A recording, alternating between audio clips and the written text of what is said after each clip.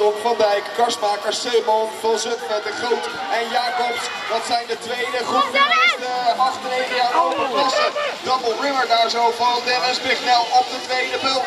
Oftewel twee velgen kapot springen, maar hij kan de weg vervolgen. Wie gaat hij met zich meekrijgen? We zien daar eh, Simon meekomen denk ik. Met de plaat 104. Ja hoor, is daar aan de voorkant 108. Simon op de tweede plek. Verdaast nog keurig netjes op het podium. Gaat hij gezelschap krijgen daar van Karsmakers. Karsmakers en Troy van Dijk. Die maken elkaar het leven zuur. Zo van kan van uh, Verdaast nog rustig door blijven fietsen. We gaan naar de kop van de wedstrijd.